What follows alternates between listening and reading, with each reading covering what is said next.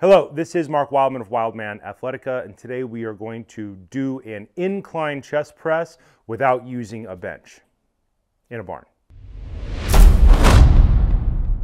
We are answering a viewer's question on how to do incline chest press without a bench today. We will be stacking up slam balls or sandbags in order to accomplish this task.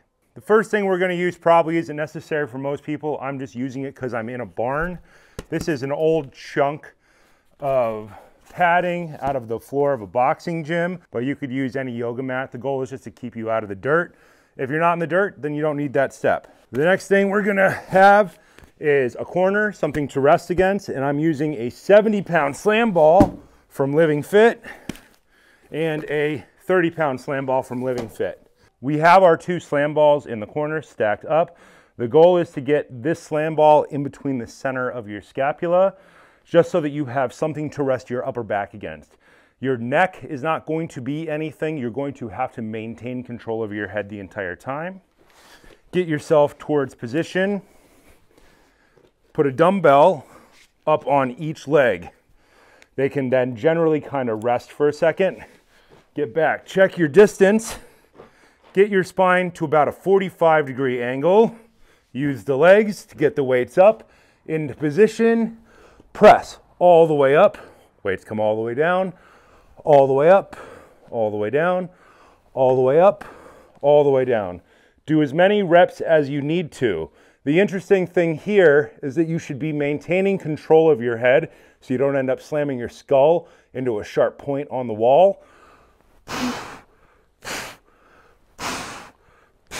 When you're done, set the bells back down, sit all the way up, get your bells back down to the ground.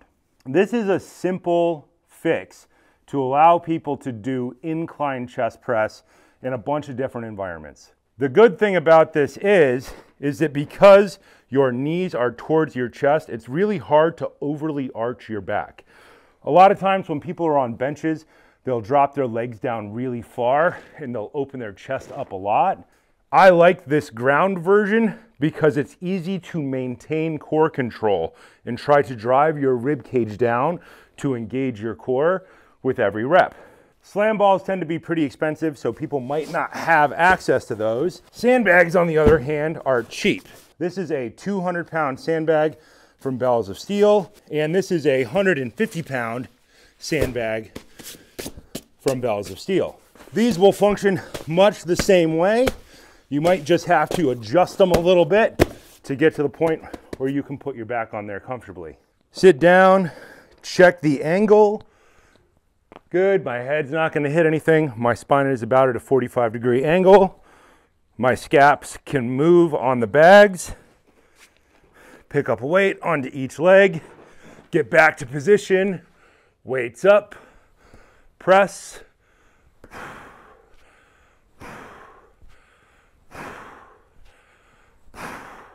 And when you're done, sit up, set the weights all the way down. Incline chest press is a really good exercise if you need to look good in short order. Kettlebells don't really effectively do the incline chest press angle.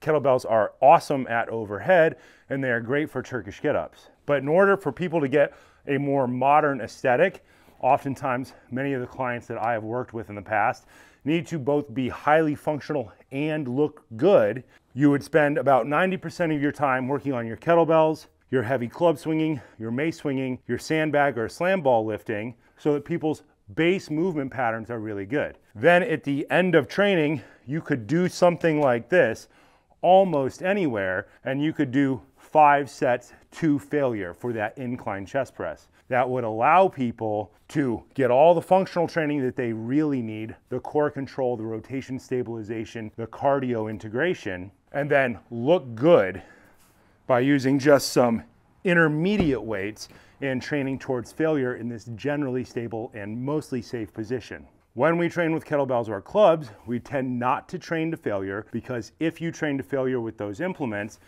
your grip fails and then a big chunk of iron flies out away from you in some random direction. With something like this, you can train to failure. So this is done at the end of training. After you've done all the dangerous stuff where you could drop something on your face or you could lose a weight. That's your real athletic development. Then at the end, you can do this stable position and you can train to failure for a few sets so that you can get that modern aesthetic appeal in a short period of time. The easiest way to do that is to set a timer for three minutes. Have it repeat five times. When the bell goes off, do a set. You could press for 30 seconds to a minute, depending on what weights you have available to you, and then you'll get two and a half to two minute break. Do five sets and then move into your cool down. This is a cheap, easy idea to allow people to do a small amount of physique training or pretty training at the end of their normal athletic training session where they're focusing on athletic skills, speed, power, rotation, stabilization, and movement patterns. And this just gets tacked on to the end as a pretty workout finisher.